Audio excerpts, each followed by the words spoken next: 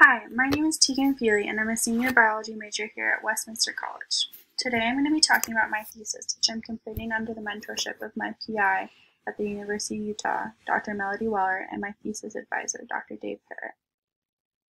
As my senior project, I'm completing a review paper evaluating HDV-like reservoirs by gathering and comparing recently published findings of novel delta viruses with hopes of expanding knowledge of the origin of the hepatitis delta virus and potential upstream vectors of disease.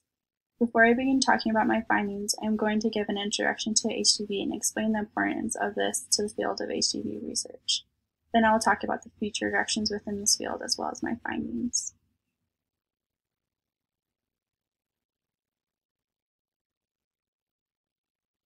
Hepatitis delta virus, or HDV, is the most severe form of viral hepatitis. It was first discovered in HBV infected patients by Mario Rossetto in 1977. HDV is a member of the genus Deltavirus and is a very unique human pathogen due to its genomic and antigenomic ribozymes, which are essential for its replication. Although HDV can autonomously replicate, it requires an envelope protein of other helper viruses to produce infectious virions.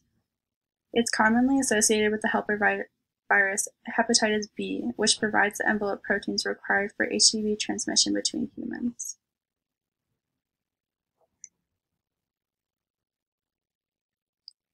HDV is sometimes referred to as the hidden epidemic. There are approximately 15 to 20 million people worldwide who are infected with HDV among the 350 million HBV carriers. Compared with monoinfection of HBV, co-infection of the two viruses accelerates pathogenic effects of the virus, such as fulminant hepatitis and progression to hepatocellular carcinoma through unknown mechanisms. There is also no current treatment for HDV beyond being vaccinated for hepatitis B. As seen in the current pandemic, it is important to understand the origin of these viruses for a number of reasons. But if researchers can better understand what the virus looked like before it jumped into the human population, they are in a better position to develop more efficient treatments and vaccines for this disease. Therefore, the origin of HEV and Delta virus is an important element for fighting this hidden epidemic. The evolutionary origin of HDV remains an enigma. It was speculated that HCV evolved in humans since delta viruses were only sequenced in humans until very recently. However, in the last few years, there has been several discoveries of novel delta viruses in both vertebrate and invertebrate species. The identification of similar delta viruses in distantly related species other than the humans indicated that the previously suggested hypothesis on the origins of delta viruses needs to be updated. It is still possible that the ancestor of delta viruses emerged from cellular RNAs, However, it is likely that this would have happened much earlier in evolution than previously thought. Thus, these findings open up completely new avenues in evolution and the pathogenesis of studies of delta viruses. My review paper is comparing the findings from Wiley, Chang, Hetzel, Paraskevoupoulou, Iwamoto, and Bergner to examine any insights into relationships between delta viruses and their helper viruses.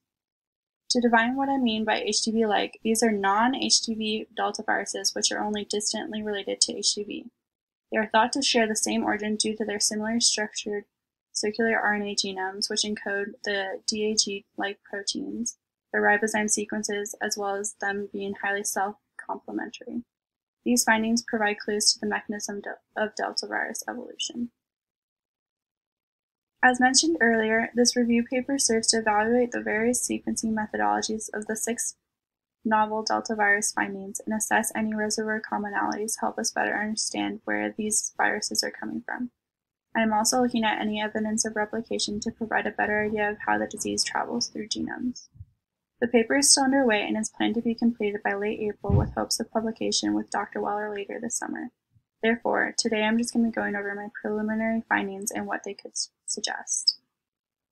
We wanted to examine different sequencing methods because in the growing world of technology, there are various ways to carry out metatranscriptome data analysis. Due to microbiome complexity, high-throughput sequencing in the form of short-read data usually generated from Illumina sequencing technology has been most often applied to these studies. It is particularly used when multiple samples and deep coverage are required, such as in differential gene expression studies. This is seen with all research groups, and they also seem to be using similar library preparation methods to produce these novel sequences. Most researchers found that the reservoirs of these HDV-like diseases showed no signs of disease except for the Hetzel research team, which was the only research group able to show evidence of viral replication. I'm also considering the biodistribution of samples for standardization. Another aspect of the paper is to examine potential reservoirs of these HDV-like viruses. Through this, I have been looking at the geographical spread of these vertebrate and invertebrate species, as well as the predominant diet of these reservoirs. While the, this is just preliminary analysis, it seems that the most common diet is omnivore and the reservoirs are found in predominantly arid climates between 30 and 60 degrees south of the equator. The final aspect of this paper is looking at any evidence of viral replication within these animal hosts. Replication indicates if sequences are able to go through the infectious process and target host cells. If so, then these HDV-like viruses could be transmissible. As of yet, only the Hetzel and Spiroka research team has been able to prove viral replication within the host. They successfully cloned the snake delta virus, or SDV, genome into mammalian expression plasmids. By transfection, they found that they could initiate SDV replication in cultured and snake and mammalian cell lines. Furthermore, by superinfecting persistently infected cells with these viruses or by transfecting their surface proteins, it could include production of infectious SDV particles. These findings indicate that delta viruses can likely use a multitude of helper viruses or even viral glycoproteins to form infectious particles. Furthermore, in a study just published in February of 2021, Iwamoto's research team was able to suggest that the specific delta viruses also initiated replication from the constructed plasmids in the cell culture system. This is very promising and hopefully more research teams are able to show more evidence of replication in the coming months. Beyond learning more of the origin of delta viruses, these findings may lead to the discovery of an upstream exposure vector of this disease, which I have been studying with Dr. Weller for the past two years. This is the future of HDV research, and it's very promising that we will soon know more about this very unique pathogen.